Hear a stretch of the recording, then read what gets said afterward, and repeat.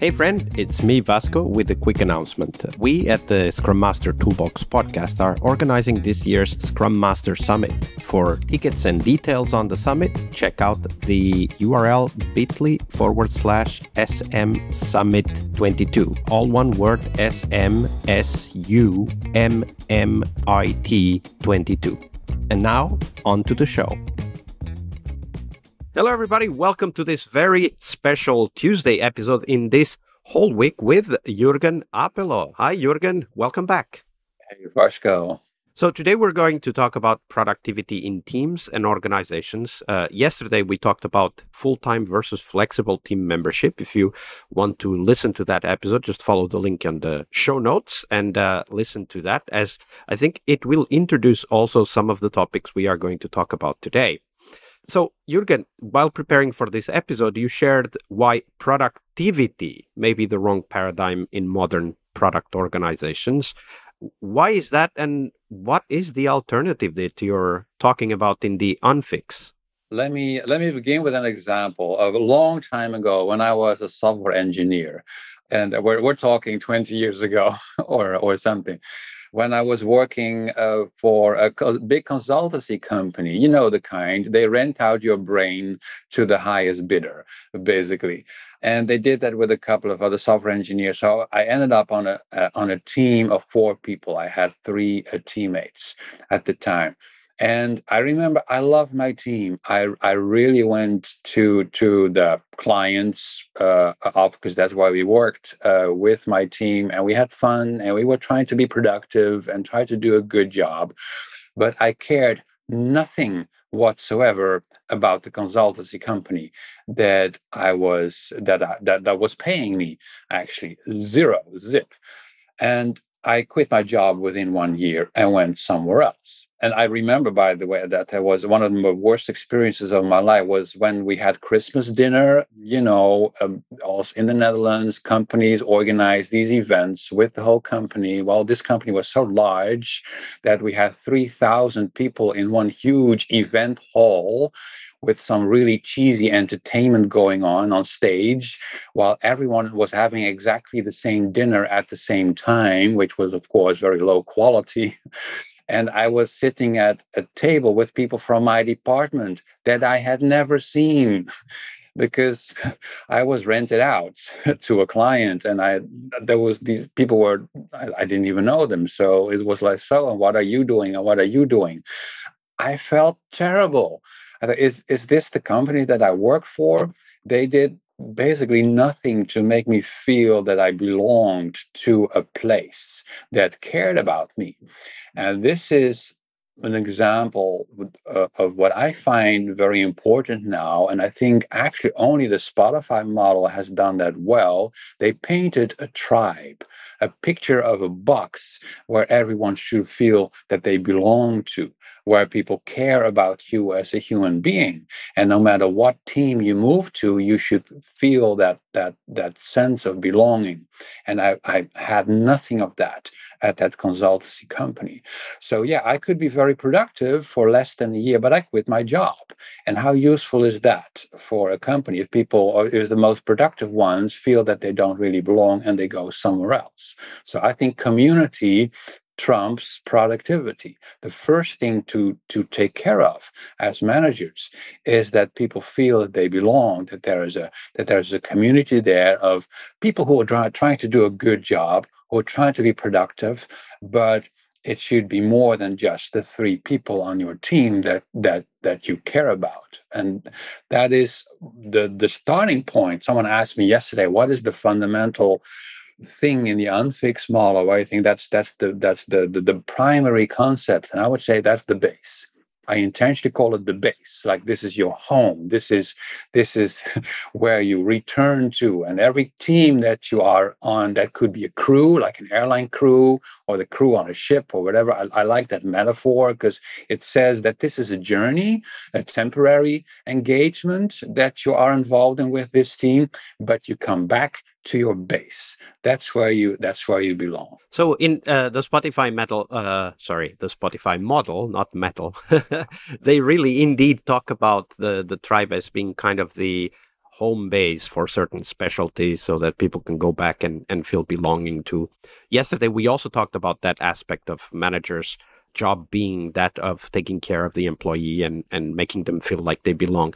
And uh, when I read the topic, uh, this productivity versus community, of course, the the the very basic analogy to the industrial world came to mind, right? Like because everything was about productivity in the Taylor world or the Tayloristic view of the world. And when I think about this community aspect, I'm starting to think about other things that are kind of popping up like you know like a network of mushrooms in the agile community or we talk about dynamic reteaming. So of course having a base like you call it in unfix is uh, an enabler for that dynamic reteaming because you always belong somewhere. You don't feel like you're being you know just pulled around like a chess piece we also talk about psychological safety. And of course, we also talk about commitment to the team, kind of collaboration and, and helping each other uh, within a team and so on. Is this kind of a, a, a, synthesis that you that you came up with to all of these trends, or are these different things?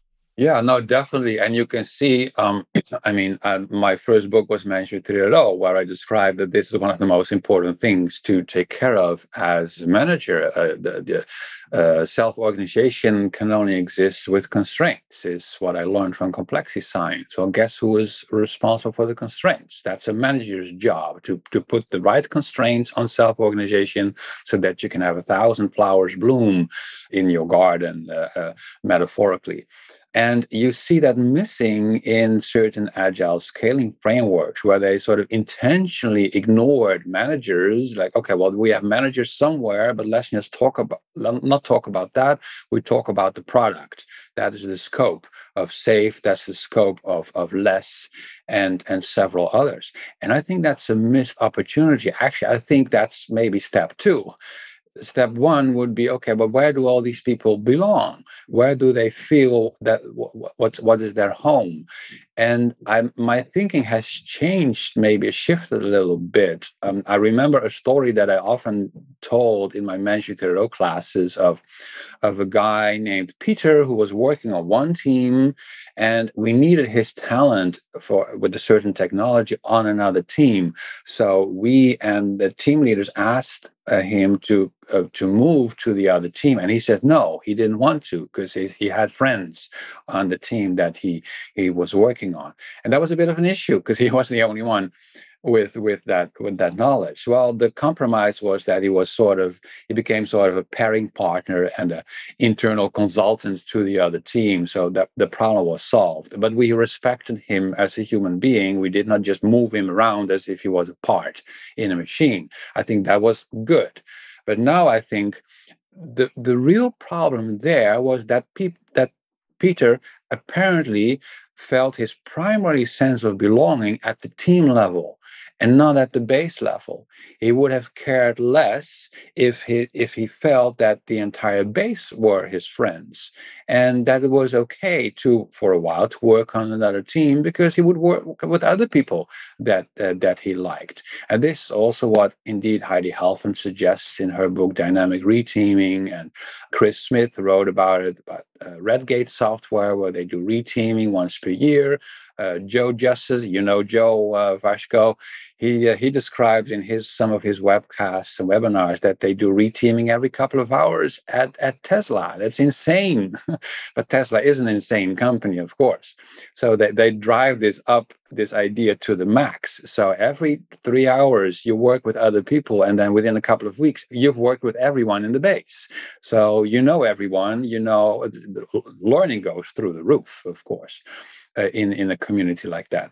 So my my my uh, thinking has changed a little bit. Less focus on the team and more focus on on the tribe, on the base, because indeed that makes it easier to do reteaming when it makes sense when it would be good for the for the experience of the employees or when it would be good for the agility of the of the company so, of course, the question that comes to mind is how, how is then a base different from a functional department? Well, uh, it is different in the sense that you should have every uh, role represented there. There's no difference there uh, with what what Scrum and and Kanban and every other method and framework uh, says. You should have all roles, jobs, functions represented to offer value to customers. So it is cross-functional. The base is cross-functional.